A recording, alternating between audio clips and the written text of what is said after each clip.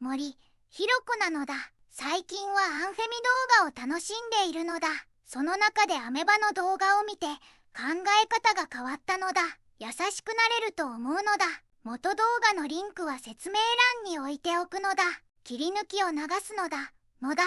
対話できない人ってね多分ものすごく今辛かったりとか痛い人なんだと思うんですよね、うん、でもう本当にこう押しつぶされそうになってる時には人に分かるように一生懸命喋ろうじゃなくて、うん、まあ、今私は痛いんだと。いうことをとにかく人に聞いてもらいたいっていうそういう状態っていうのは、まあ、個人でも運動でも初めはそういう段階から来ると思うんですね。で70年代のウーマンリブなんかもえとにかくこう割と戦闘的で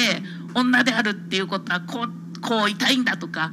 あなたに分かるように話す暇はないみたいな感じのかなり戦闘的なポーズをとってたと思うんですけどやっぱりそれが超えたところでまた人に分かってもらえるように対話しようっていうふうになったりとかまああのやっぱり 今痛いって言ってる人で戦闘的な人は私はやっぱそれはそれで一つの理由があるので、まあ、その人がね他者を傷つけない限りやっぱりそうなんだっていうふうにはあのフェミニズムに限らずいろいろな運動で、まあ、ちょっと理解してあげたいなっていうふうに思います。